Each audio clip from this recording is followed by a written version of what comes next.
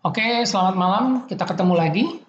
Kali ini saya mau bahas atau cerita soal printer yang ideal untuk pengguna di rumah, yaitu pengguna uh, printer yang dipakai di rumahan, yang harganya terjangkau atau murah, tapi tidak murahan.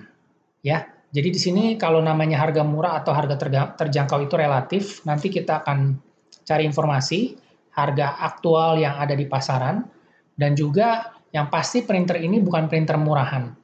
Jadi artinya meskipun harganya terjangkau, tapi printernya pun juga awet. Nah, kategori yang saya sebutkan sebagai printer rumahan yang ideal, yang pasti banyak digunakan di rumah adalah satu. Printer ini bisa print, scan, dan copy warna, jadi uh, bisa digunakan untuk mencetak dokumen, uh, mencetak tugas anak sekolah, kita punya tugas-tugas kerjaan di kantor, kita bisa cetak. Dan yang pasti, yang tadi saya sebutkan juga tidak murahan artinya dia ini memiliki garansi resmi satu tahun dan printernya juga awet. Jadi kita juga pakai printer ini nyaman, aman dan juga tidak ada biaya tidak ada biaya perbaikan atau maintenance selama masa garansi. Oke, nah uh, yang saya bahas selalu saya selalu mengingatkan adalah selalu mengingatkan yaitu adalah versi cartridge tinta hemat atau murah. Hemat sampai dengan 40% dibandingkan printer biasa. Kok bisa seperti itu? Nanti kita lihat, saya akan kasih informasinya supaya teman-teman di sini bisa belajar, diedukasi, supaya bisa ngerti apa itu perbedaannya, kenapa bisa seperti itu, dan kita supaya bisa tahu Kenapa tipe A seperti ini, tipe B seperti ini? Nah, semua itu ada datanya, ada perbandingannya. Jadi semuanya ini bisa dicek langsung, jadi teman-teman juga bisa belajar. Oke, kita lanjut. Nah, untuk printer yang ideal untuk rumahan print scan copy, yang saya rekomendasikan ada dua, yaitu satu, HP 2336 Ink Advantage. Nah, ini ya, kata-kata Ink Advantage ini loh. Ini artinya yang selalu saya lakukan selalu berulang-ulang, berulang-ulang, dijelasin lagi, diperkatakan lagi, dikasih tahu lagi adalah ink advantage. Ink advantage ini artinya adalah versi cartridge tinta hemat atau murah. Oke. Nah, satunya lagi selain HP ada lagi yaitu namanya Canon E410 Ink Efficient. Nah, ini juga sama. Jadi seperti yang tadi, versi cartridge tinta hemat atau murah hematnya sampai dengan 40%, oke, okay? dibandingkan dengan printer inkjet biasa. Jadi teman-teman udah tahu ya, di sini kalau yang namanya printer versi cartridge tinta hemat itu ada yang ada tulisan seperti ini, Ink Advantage untuk HP dan juga Ink Efficient untuk Canon. Jadi teman-teman mesti tahu nih, ya tipe printer yang dicari harus ada tulisan informasi seperti ini. Kalau yang nggak ada tulisan seperti ini artinya apa? Artinya printer itu belum versi cartridge tinta hemat. Jadi artinya cartridge-nya masih mahal dan boros. Nah, itu yang harus kita hindari. Apalagi hari-hari kayak gini kita harus cari produk yang biaya operasionalnya murah. Karena kita tahu printer itu dipakai untuk mencetak.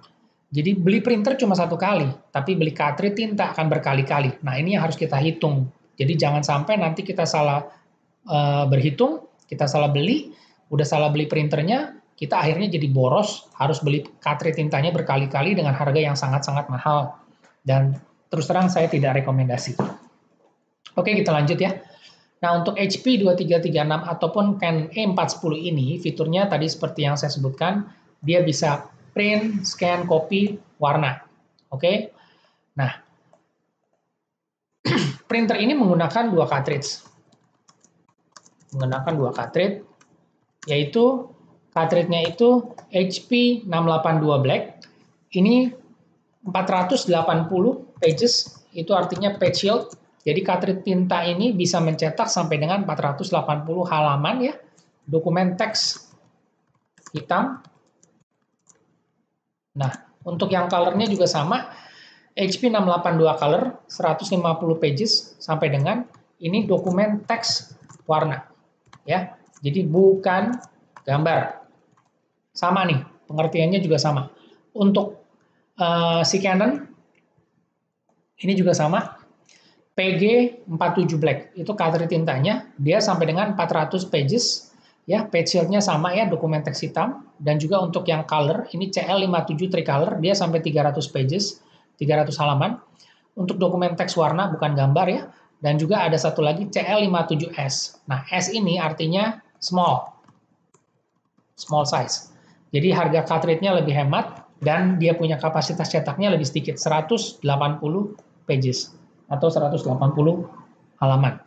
Kembali lagi ya, ini dokumen teks hitam dan juga dokumen teks warna berdasarkan 5% coverage. Ya. Nanti kalau nggak ada yang belum ngerti Kak, 5% coverage itu seperti apa, silakan komen, nanti saya kasih penjelasan.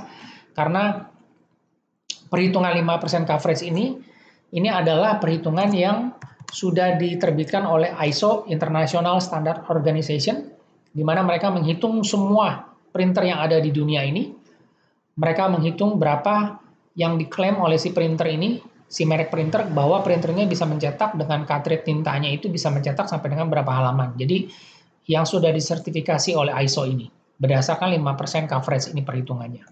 Oke, kita lanjut ya. Nah, yang tadi saya bilang di atas, harga murah tapi tidak murahan, dan juga yang pasti versi cartridge tinta hemat. Satu, dia punya fitur tadi bisa print scan copy, dan sekarang kita kembali lagi ke sini. Cost cetak per lembar. Ini nih, cost cetak per lembar. Nah, menurut saya, estimasi setiap lembar yang kita cetak itu, kalau biaya cetaknya 300 sampai 500 rupiah, itu masih oke. Okay. Masih lumayan hemat. Jadi kalau misalnya kita berhitung, berapa harga cartridge tintanya dibagi jumlah halaman cetak, itu kurang lebih di angka seperti ini 300 sampai 500 rupiah per lembar itu masih oke okay, menurut saya.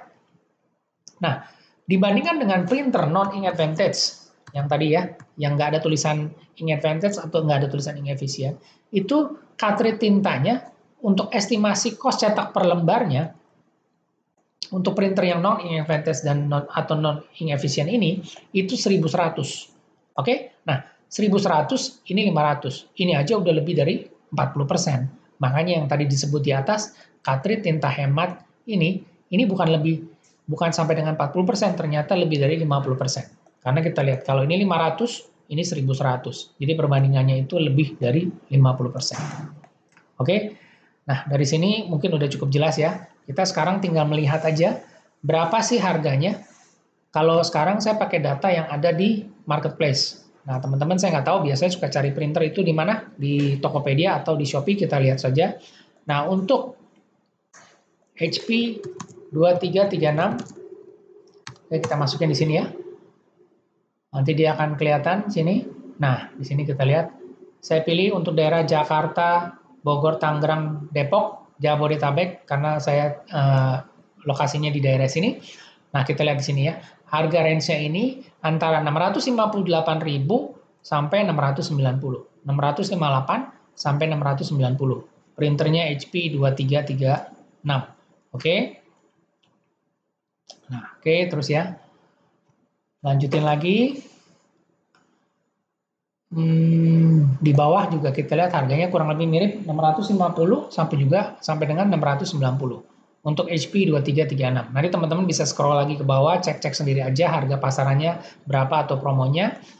Nah, untuk yang Canon E410 kita lihat juga. Ini saya balik juga ya.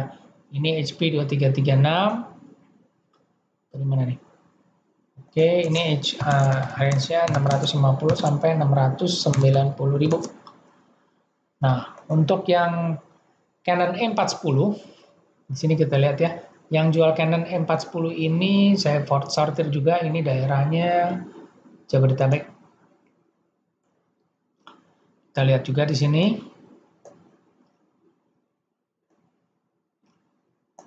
sorry ini agak lemot dia punya internet kita coba masuk di Shopee ya. Canon E410 oke Canon E410 agak jarang. Nah di sini ada ya. Cuma ini internetnya lagi lemot. Ini kurang lebih sekitar 850.000 untuk di Surabaya. Ada juga yang di Jakarta itu 760 uh, sampai 850. Oke, jadi uh, range-nya itu di 760 sampai dengan 850. Coba kita lihat kalau yang di Tokopedia masih belum muncul nih. Nah, udah. Di Tokopedia itu 840. Oke, ada juga yang 1 juta. Ya, kita ambil pukul rata ya tadi antara 790 760 sampai 850 ribu. 760 sampai dengan 850 ribu. Nah, dari segi printer harganya ini antara 650 sampai dengan 850 ribu. Nah, ini yang tadi disebut uh, saya sebut harganya terjangkau ya atau disebut juga harganya murah. Tapi uh, kembali lagi ke masing-masing punya budgetnya berapa, sukanya merek apa, dan udah biasa pakai printer yang tipe apa. Jadi teman-teman punya dua, dua pilihan mau pakai HP 2336 atau bisa juga pakai Canon E410. Pokoknya ini keduanya adalah printer cartridge tinta hemat. Jadi teman-teman bisa pilih salah satu dari mereka. Oke, sekarang kita lihat lagi. Kalau tadi udah tahu harga printernya, kita lihat lagi sekarang harga cartridge-nya. Oke, ini kita tulis ya, HP 682 Black.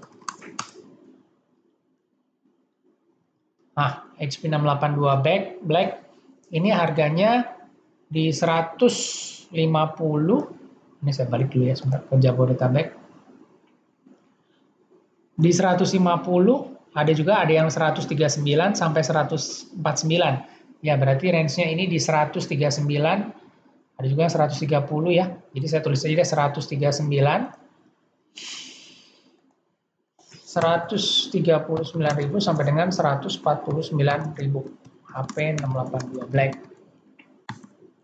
Nah, untuk yang si Canon ini PG 47. Sini ya, Canon PG 47. Nah, Canon PG 47 itu di 180 atau ada juga yang uh, jualnya di 150.000 180 jadi 150 sampai 180. 150 ribu sampai dengan 180 ribu. PG 47 Black. Nah, oke okay, sekarang kita udah tahu ya. Saya ambil contoh ini dokumen teks hitam aja, karena kita mau belajar berhitung. Nah, ini contohnya. Kalau untuk kos cetak per lembar, jadi tadi saya sebut, ini 150 dibagi 400. 150 ribu dibagi 400 itu ketemunya 375. Jadi kurang lebih masih oke, okay, range-nya di 300 sampai 500. Nah, untuk si HP itu di 139.000 dibagi 480. 139.000 dibagi 480. Ketemunya di 290. Oke, okay? 290 untuk HP, untuk si Canon itu sekitar 375. Ya kurang lebih masih oke okay, karena range-nya masih di 300 sampai 500. Nah, buat teman-teman nih, nanti kalau misalnya ketemu printer yang harganya relatif mirip-mirip ya, seperti Canon ini, atau mungkin yang range-nya di harga 650.000, itu ada beberapa merek, nanti teman-teman pasti bisa cek. Pilihannya cuma uh, Canon, jadi Epson nggak ada untuk printer harga di bawah 1 juta dan juga itu kalau Epson itu tidak uh, ada yang printer inkjet, sorry, tidak punya lagi printer yang menggunakan cartridge biasa, mereka menggunakan sistem infus dan harganya itu di atas satu setengah juta untuk Epson. Jadi untuk kategori printer rumahan yang ideal ini harga murah, kenapa saya tidak uh, masukin data Epson di sini? Karena secara produk range-nya itu harganya di atas, lebih mahal. Oke, jadi pilihannya teman-teman cuma punya dua ya, HP dan Canon. Tapi perhatikan lagi, pilih yang versi cartridge tinta hemat atau murah. Karena berasa banget kan, 500, 300 atau sampai 500 kos cetaknya dibandingin sampai 1100. Nih sampai 1100. Kok bisa sampai 1100? Ya, karena apa? Harga cartridge-nya itu lebih mahal daripada yang biasa, terus patch shield-nya ini lebih sedikit. Jadi kenapa nanti munculnya ini 1100? Nah, itu yang saya sebut artinya cartridge-nya itu lebih mahal dan boros karena isi milinya isi yield-nya itu lebih sedikit.